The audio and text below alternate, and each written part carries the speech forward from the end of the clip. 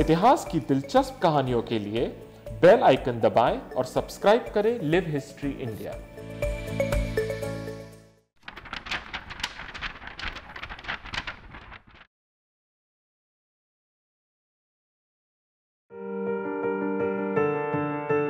चिंसुरा का ये कब्रिस्तान पश्चिमी बंगाल में डच यानी नीदरलैंड के नागरिकों की आखिरी निशानी है। ये पश्चिमी बंगाल के हुगली नदी के तट पर स्थित है। तकरीबन 400 साल पहले पानी से लबालब भरी हुगली नदी का किनारा यूरोप से आए सौदागरों और फौजियों को इतना पसंद आया कि वो यहीं ठहर गए। यानी यहाँ एक छोटा सा यूरोप बस गया। चिंसुरा डच लोगों के लिए एक महत्वपूर्ण स्थान बन गया, जहाँ उनकी एक फैक्ट्री भी थी उत्तरी इलाके, यानी बंदेल को पुर्तगालियों ने अपना ठिकाना बना लिया।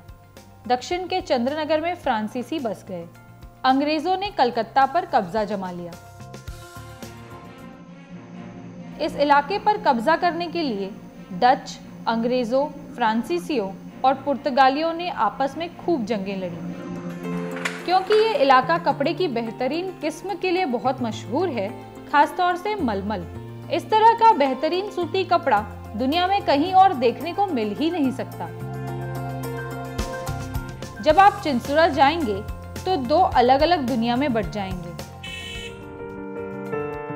चिंसुरा में डच कब्रिस्तान दर्शनीय स्थलों में से एक है। ये कब्रिस्तान 18वीं और 19वीं सदी से मौजूद है और यहाँ करीब 45 कब्रें हैं। ये कब्रिस्तान डच गवर्नर लुइस टेलफर्ड ने सन 1743 में बनवाया था।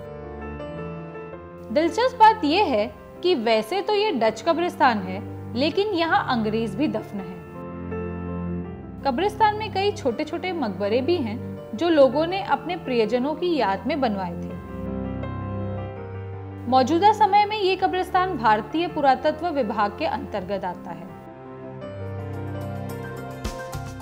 चिंसुरा से थोड़ा बाहर जाएँगे तो वहाँ एक सुंदर सफ़ेद मकबरा है, जिसकी छत पर एक गुंबद है। ये मकबरा सुजाना एना मारिया का है, जिनका सन 1809 में निधन हो गया था। ऐसा माना जाता है कि हिंदी फ़िल्म सात खून माफ़ उन्हीं की कहानी पर बनी थी। लेकिन सन 1825 में डच ने अंग्रेज़ों के कब्जे वाले सुमात्रा के बदले में चिंसुरा अंग्रेज़ों को सौंप दिया।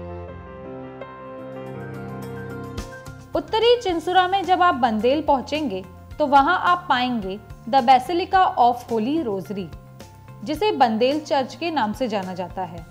इसे 1660 में पुर्तगालियों ने तब बनवाया था, जब ये शहर उनके कब्जे में था। मशहूर बंगाली लेखक शरद चंद्र चैटर्जी भी यहीं रहते थे। यही उन्होंने राष्ट्रीय गीत वंदे मातरम भी लिखा था। दक्षिण की तरफ़ चंदनगर है। ये शहर अपनी खूबसूरत इमारतों के लिए मशहूर है। 18वीं शताब्दी में ये एशिया में फ्रांसीसियों का सबसे महत्वपूर्ण इलाका था। चंदनगर फ्रांसीसियों को कैसे मिला, इसकी कहानी भी दिलचस्प है। सन 1688 में यहाँ के मुगल सूबेदार को चालीस हज़ार सिक्के देकर एक फरमान जारी करवा लिया और नदी किनारे का ये इलाका फ्रांसीसियों के कब्जे में आ गया। फ्रांसीसियों ने सन उन्नीस में हुगली के किनारे एक ट्रेडिंग पोस्ट कायम किया और जिसके बीच में लिखा था, फोर्ट दी ओरलेंस चंदन नगर भारत पर कब्जा करने के लिए अंग्रेज़ों और फ्रांसीसियों के बीच लड़ी गई खतरनाक लड़ाइयों का गवाह भी रहा है। फ्रांसीसी गवर्नर जनरल डुप्ले के दौर में फ्रांस दौलत और दबदबे के मामले में अंग्रेज़ों से आगे निकल गया था, लेकिन भारत में वर्चस्व की लड़ाई में फ्रांस पीछे रह गया। लेकिन चंदन नगर एक छोटा शहर ही रहा। भारत 15 अगस्त को आज़ाद हो गया था, लेकिन चंदन नगर 2 फरवरी 1951 को ही भारत का हिस्सा बन पाया।